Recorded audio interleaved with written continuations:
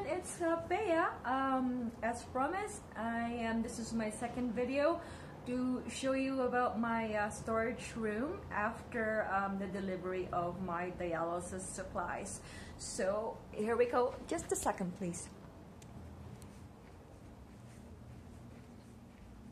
All right. So here we go. Just a second.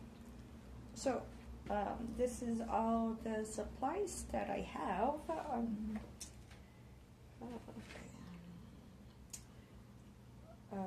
yeah, this is good for um, six weeks.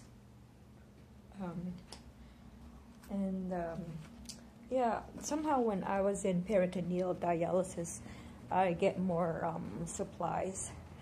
But um, anyways, so that's how it looks like. Just a short video just to share with you how, how much supplies I get.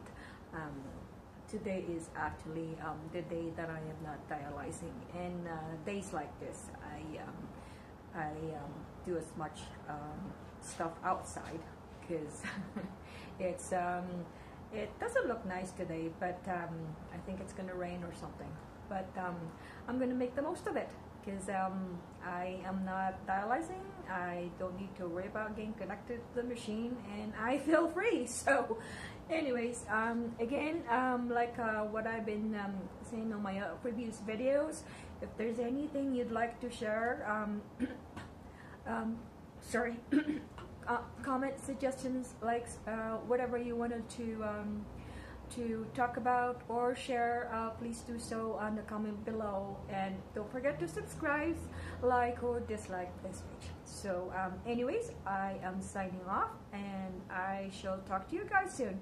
Bye. Have a good day.